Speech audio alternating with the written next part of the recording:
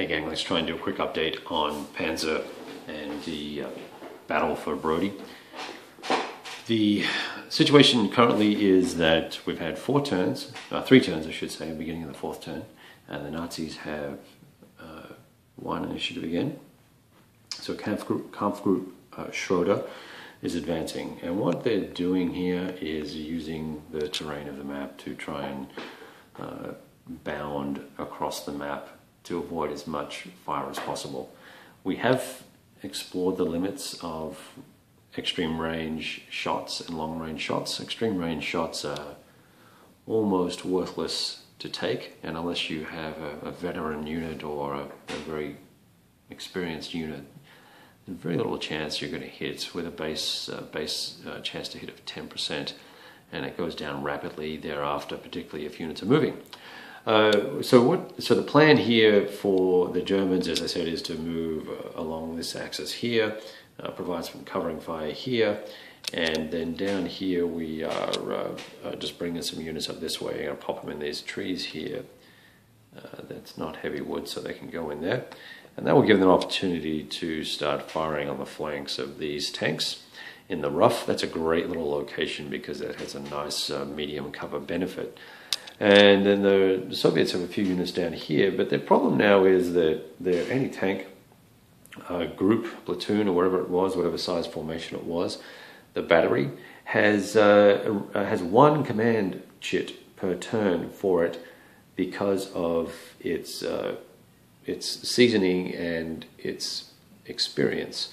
So they're really struggling. Uh, they've lost a lot of units. They've lost uh, four or five units, I believe yeah, four, three guns and, a, and the command unit. So that's posing problems for them, and that's popped down their uh, their ability to react and do things. So it's a nice mechanic that I'm becoming more familiar with. I've still got to work out the the close assault slash uh, overrun process, how that works. There really are just a lot of uh, single letter designators on these information cards, and it, it's a little overwhelming sometimes, uh, particularly when you're trying to play at a fair clip. I'm not sitting here goofing around. I'm really trying to crank through some turns here to see if I can get through a full scenario, 15 turn scenario, and really uh, soak up the historical flavor that there is, uh, the, the game balance that's provided uh, in the scenarios, and and just become more familiar with the turn with the turn sequence and the way the game is played. Uh, I'm finding now that uh, combats can happen pretty. Uh, uh sorry, direct fire, armor piercing, anti-tank fire can all happen pretty quickly. So that's going well. And uh, basically, what I'm doing is rolling a die, and if the result is uh, at the extreme extreme end of the equation, well, we don't need to look any further or go through the modifier process. So we're kind of cranking along that way.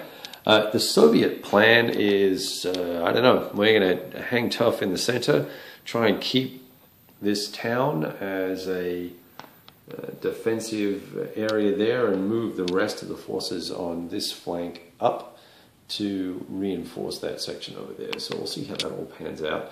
I'm not holding out a lot of hope for them, but I do think that we can knock off at least three or four tanks and therefore whittle away the effectiveness of the German uh, attack in the next scenario, which will follow along uh, from the results of this. Uh, the di red discs will represent the uh, place where Soviet units have been killed, and we'll kind of keep track of things going from going forward from there. I'll talk to you soon.